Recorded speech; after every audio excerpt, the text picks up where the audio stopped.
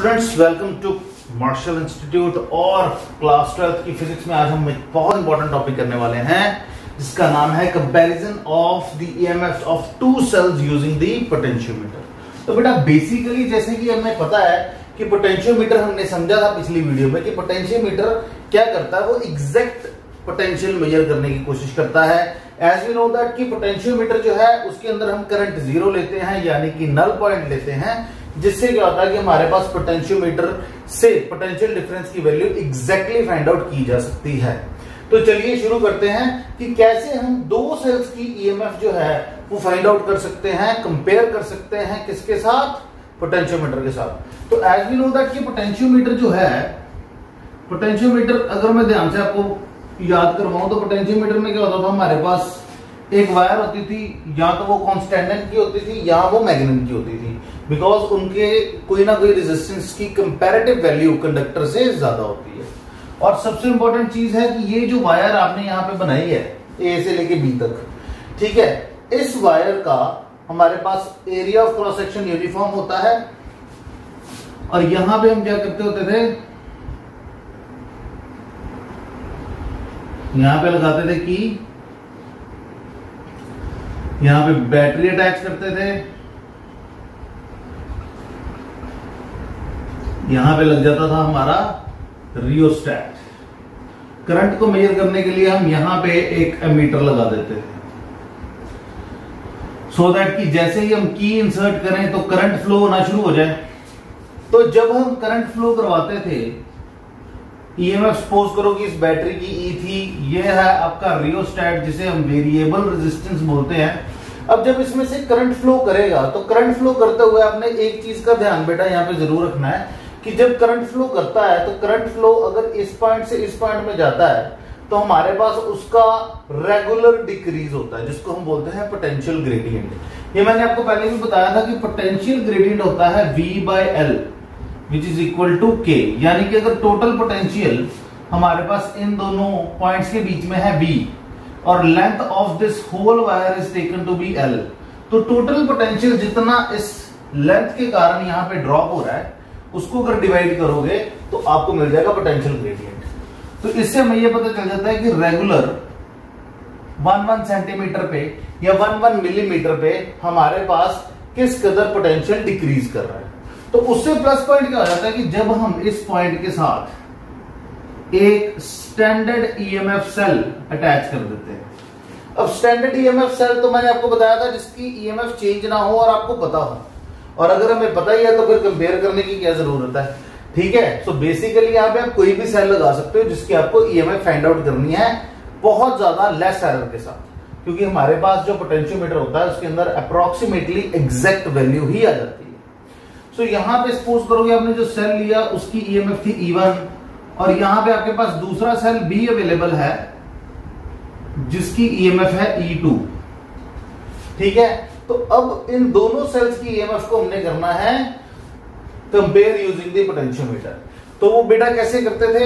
यहाँ पे होता था हमारे पास एक गलवेनोमीटर गलवेनोमीटर की जो वायर थी, वो यहाँ पे अटैच होती थी। एक टू वे की के साथ। टू वे की कुछ ऐसे की की होती है। और गलवेनोमीटर के साथ हमारे पास एक मूवेबल कॉन्टैक्ट होता था, जिसको हम बोलते थे जॉकी जैसे कि वो पेन की तरह होता है it is just a metallic nap type structure जिसका इधर भी मेटल है और अंदर भी मेटल होता है। बस उसकी ग्रिप दी होती है एक इंसुलेटर की सो दैट कि वो करंट लूज ना करे। तो अगर मैं यहाँ पे इसका कनेक्शन इसके साथ मेंटेन कर देता हूँ तो इवन कॉन्टेक्ट में आ जाएगा। और जैसे ही इवन कॉन्टेक्ट में आता है तो हमारे पास यहाँ पे आप इसको स्लाइड करके देखते हो कि किस पॉइंट के ऊपर आके हमारे पास करंट ज़ीरो आए। करंट ज़ीरो का मतलब क्या है आपके पास? नल पॉइंट तो नल पॉइंट अगर हमारा सपोज़ करो यहाँ पे आ रहा है तो इसकी लेंथ हम ले लेते हैं एल बट इस सारे को करने से पहले मैं आपको एक बात ज़रूर बताऊँगा कि अगर आपने ये सारा सेटअप लगाना है तो एक चीज़ दिमाग में ज़रूर रखने कि अगर इधर पॉजिटिव है ईएमएफ ऑफ़ द बैटरी इसको ड्राइविंग बैटरी बोलते हैं। बिकॉज़ बेसिकली हम करंट इसका यूज़ करते हैं पोटेंशियल ड्रॉप भी इसका यूज़ करते हैं, इसको जस्ट कनेक्शन देने के लिए यूज़ करते हैं। इसीलिए तो हमें एग्जैक्टली exactly मिल जाता है बिकॉज़ हम इस बैटरी के द्वारा दिया गया करंट यूज़ नहीं करते हैं। करंट क्या होता है? यहाँ पे ज़ीरो हो जाता है, यहाँ से। इसका मतलब क्या है कि इस बैटरी का करंट हम नहीं यूज़ करते, इस बैटरी का यूज़ करते हैं। बट स्पेशल केस आपको यही याद रखना है कि जब भी आपको सेल्स अटैच करने हैं तो अगर इसका पॉजिटिव इधर वाली साइड पे अटैच है तो इधर भी पॉजिटिव होना चाहिए। अगर आपका इधर सेल उल्टा लगा होगा तो आपका एक्सपेरिमेंट फेल हो जाएगा। तो जब आपने यहाँ पे कॉन्टेक्ट करके देखा अलग अलग जगह पे तो आपको यहाँ पे करंट मिल गया अपना ज़ीरो तो करंट ज़ीरो से हमें यह पता चल गया कि अब इतनी लेंथ एल के दौरान इस बैटरी ने कितना पोटेंशियल लूज किया था? बिकॉज़ करंट बेसिकली ये दे रहा है, ये सिर्फ़ कनेक्शन मेंटेन करके देखने के लिए है कि हमारी ईएमएफ कितनी है। तो अगर हमारा करंट ज़ीरो हो जाता है गलवेनोमीटर की रीडिंग यहाँ पे ज़ीरो आ जाती है किसी पॉइंट पे जो कि डिस्टेंस एल पे है तो इसका मतलब क्या होगा कि यहाँ पे पोटेंशियल डिफरेंस किसके बराबर था? V is equal to K into L के बराबर। तो अगर करंट ज़ीरो हो जाता तो इसका मतलब क्या है? जिस सर्किट के अंदर करंट ज़ीरो हो जाए, उसका मतलब है इसमें V की वैल्यू किसके बराबर आ गई है? E के बराबर सो यहाँ पे E1 की वैल्यू किसके बराबर आ जाएगी? V के बराबर। तो E1 की value will be equal to K into L one क्योंकि यहाँ पे सेल वन ज्वाइंट था तो हम इस लेंथ को मान लेते हैं वन ठीक है? सो यहाँ पे भी जो हमारा पोटेंशियल ड्रॉप होगा, वो भी K इंटू एल के बराबर होगा। ठीक है? तो ये आ गया हमारा E is equal to K into L one अब जैसे ही आप इससे कनेक्शन डिस्कनेक्ट करते हो और इसके साथ जोड़ देते हो तो हमारे पास क्या होगा कि अब इस पॉइंट पे हमें अपना नल पॉइंट नहीं मिला तो हम इसको और किसी पॉइंट पे ज्वाइन करके देखेंगे। तो उसको ब्लू पेन के साथ यहाँ पे डिनोट कर देते हैं। सपोज़ करो कि उसका कुछ इस पॉइंट के ऊपर नल पॉइंट आ जाता है, यानी कि अप्रोक्सीमेटली एट लेंथ L2 जो कि ब्लू पेन से अब L2 तक हमारा जितना पोटेंशियल यहाँ पे, जा रहा है, उसको वैल्यू ले लेते हैं V2 is equal to K into L अब जब मैंने इस बैटरी को कनेक्ट किया था और मेरा करंट हो गया था ज़ीरो ठीक है? तो बेसिकली क्या होगा कि मेरे पास E2 की वैल्यू किसके बराबर आ जाएगी? V2 के बराबर।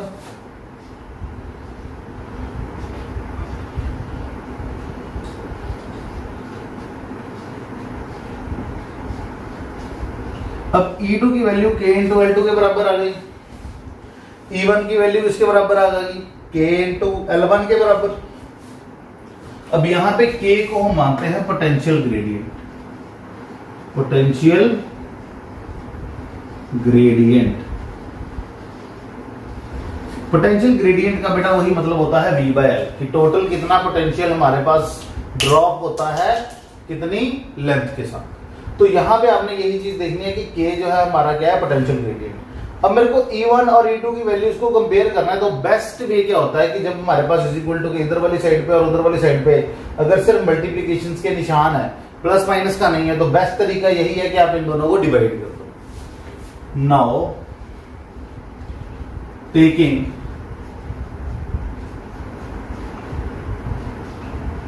E1 by E2 अब E1 की वैल्यू थी K इंटू एल के बराबर E2 की वैल्यू थी K इंटू एल के बराबर, K से K कट जाएगा।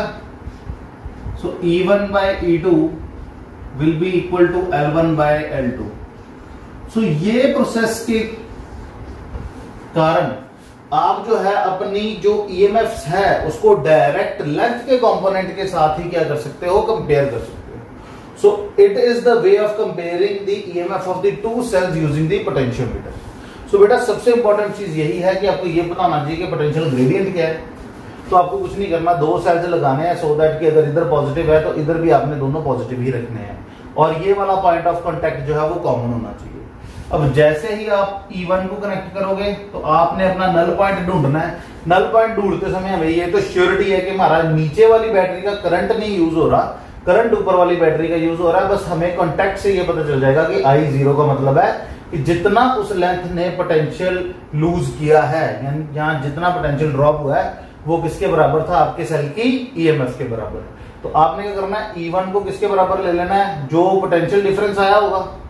उसी तरीके से जब आप नीचे वाले सेल के साथ उसको जोड़ोगे तो आपके पास दूसरे सेल की जो है वो ईएमएफ आ जाएगी। इन दोनों को आपने जब डिवाइड किया तो के से के कैंसिल आउट हो जाएगा।